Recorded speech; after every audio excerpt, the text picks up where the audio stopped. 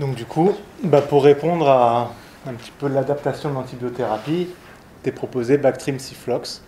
Alors, bon, il a spoilé, hein, c'est un vieil antibiotique pour de nouveaux microbes. Le nouveau microbe, on vient d'en parler, c'est un petit peu cette émergence, entre guillemets, des entérobactères, des BGN. Le truc, c'est que le Bactrim qu'on utilise, il est aussi actif sur les BGN, mais il n'y a, pas, a pas beaucoup de séries qui ont prouvé que ça marchait bien, bien dans l'os. Nous, on l'utilise, mais on voulait voir un petit peu ce qu'on faisait et comment ça marchait.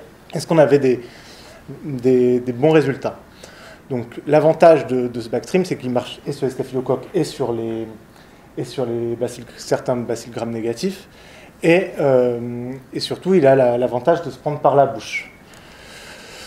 Donc, on voit aussi que les, BGN ils représentent 10 à 25% des épisodes d'infection prothétique. Donc, euh, c'est quand même une part non négligeable si on veut donner un traitement péros. Et les infections polymicrobiennes, donc tout IOA confondu, euh, de 32, donc avec les fractures ouvertes, de 32 à 46%. Euh, et donc le, le, Bactrim a déjà été montré comme efficace dans une vieille étude de 98 sur le staphylocoque. Donc on a fait un petit peu une étude descriptive dans le service qui était d'une part de voir si euh, l'efficacité proprement dite du cotrimoxazole, mais aussi d'examiner cette tolérance, parce qu'on a avec le recul, notamment chez les personnes vivant avec le VIH, on sait que le, le Bactrim peut être plus ou moins bien toléré. Euh, donc on a fait une étude euh, observationnelle et rétrospective. on a pris toutes les infections ostéo-articulaires des membres du rachis, qu'elles soient avec ou sans matériel, et, on a regardé, les patients qui ont été du coup traités par Bactrim. Et la guérison, c'était clairement défini par l'absence de refus à un an. On a réussi quand même à inclure 129 patients. Euh, c'était majoritairement encore des hommes. Et surtout, ce qui est important, c'est qu'il y avait quand même une présence de matériel dans 4 cas sur 5. Dans plus de la moitié des cas, c'était une infection chronique et une infection polymicrobienne dans plus de la moitié aussi des cas. Euh, je vous donne le résultat en brut. En gros, sur les 129 patients qui ont été inclus, il y en a 30% qui font des effets secondaires, qui ont dû arrêter le traitement. Il y en a 28%, 20, euh, pardon, 20% qui ont été perdus de vue. Et il y a eu 60 patients qui ont eu le traitement entier. Et parmi ces 60 patients qui ont eu le traitement entier, il y en a eu 60% qui ont été traités, ont été guéris. Donc ça fait une efficacité en considérant les, les perdus de vue comme des échecs, une, efficacité qui est quand même pas énorme. Donc on va regarder un petit peu quel type d'effets secondaires. Est-ce que c'est des effets secondaires graves? Est-ce qu'il y a un profil de patients qui sont plutôt tendance à faire ces effets secondaires? Alors je vous dis tout de suite, on n'a pas retrouvé d'effets euh, euh, par rapport aux différents types de patients, enfin d'effets significatifs qui séparaient les patients qui ont eu des, effets secondaires et les patients traités sur le terrain et aussi sur la dose de cotrimoxazole. Globalement, ça, ça tourne autour de 5 comprimés. Au niveau des effets secondaires, il y avait donc deux tiers qui étaient plutôt des effets digestifs, intolérance, douleur abdominale. Je conçois que ça peut être grave dans certains moments, mais chez ces patients, c'était surtout euh, des inconforts digestifs qui ont nécessité l'arrêt euh, du traitement. Et on a eu un tiers d'effets graves. Donc sur les 129 patients, il faut se dire que quand même, il y a une personne sur 10 qui va présenter un effet secondaire grave. C'était principalement des insuffisances rénales chez 9 patients, mais aucun n'a eu besoin de dialyse. Il suffisait d'arrêter le traitement. Il y a eu juste tous ont, régressé à l'arrêt du traitement. Il y a eu seulement deux interventions. Il y a eu une transfusion et euh, des facteurs de croissance euh, hématopoïétique. Donc, quand on regarde un petit peu l'efficacité sur ces 60 patients, est-ce que c'est efficace? Donc, Plutôt une analyse, en, on va dire, en paire protocole chez les patients qui ont eu le traitement.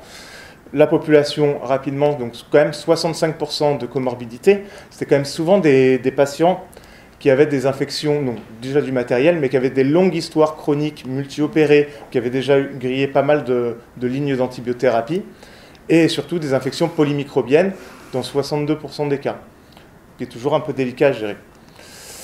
Euh, globalement, le Bactrim était associé dans 80% des cas à une autre antibiothérapie, et euh, on va dire la moitié des cas, c'était une fluoroquinolone.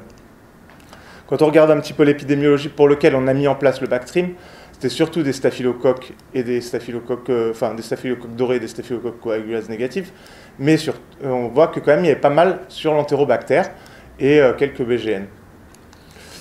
Quand on regarde au niveau de l'efficacité sur les différents cadres cliniques, globalement, quand il y a du matériel, on s'en sort à 50%. Quand il n'y a pas de matériel, c'est plutôt 62 tiers, allez, trois quarts des cas, on arrive à traiter. on n'a pas retrouvé de différence entre les patients qui ont pu être guéris ou pas guéris, c'est-à-dire qu'on n'a pas guéri seulement les infections aiguës ou seulement les infections chroniques. on a, et pareil avec le matériel, et il n'y avait pas vraiment de différence sur la dose et la durée d'antibiotiques, enfin de l'antibiothérapie. Quand on regarde un peu plus en détail les résultats par rapport aux germes, que ce soit donc avec soit toute cause confondue ou avec matériel, on voit que sur les, les bacilles grammes négatifs, on a quand même une efficacité à 50%, mais surtout sur les infections polymicrobiennes, on a une efficacité, et euh, polymicrobiennes avec des, des bacilles grammes négatifs, on a quand même une efficacité aux alentours de 60%. Euh, c'est pareil quand il y a une présence de matériel. Quand c'est associé à une fluoroquinolone, l'efficacité commence à monter à, dans, trois quarts des cas. Dans trois quarts des cas, on arrive à guérir. Par contre, quand on n'a pas de fluoroquinolone, on tombe plutôt à 40%. Donc le message, c'est en association de préférence avec les quinolones, qui sont quand même l'antibiotique clé euh, dans les BGN. Donc voilà, efficace 28% quand on décide de le mettre, effet secondaire, ça ne donne pas trop envie, mais quand on remet en perspective, euh, déjà les patients perdus de vue, la plupart, enfin clairement ils étaient, ils étaient, la plupart du temps ils étaient guéris, et puis c'était surtout voilà une population qui était globalement à risque et qui avait eu euh, de multiples lignes d'antibiothérapie. Euh, donc voilà, si on compare un petit peu avec les autres études, bah, ça a l'air un petit peu moins bien, mais toujours pour les mêmes raisons, parce que c'est polymicrobien.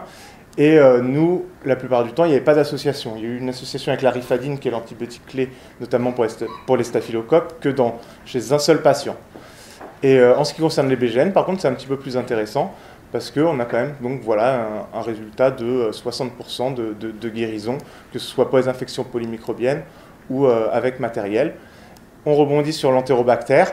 Euh, ça, fait, ça a l'air de faire pas mal avec, euh, mais il faut de manière euh, essayer d'y associer une quinolone. C'est par rapport à une autre étude qui avait trouvé qu'à 80% d'efficacité. Ils avaient tout le temps associé une quinolone et c'était des infections monomicrobiennes à entérobactère et c'était le, genre cloaqué.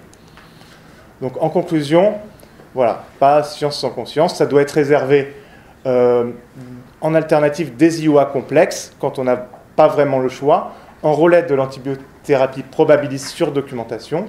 Et ça peut être intéressant du coup sur les, staphylocoques multirésistants, les BGN et les infections polymicrobiennes.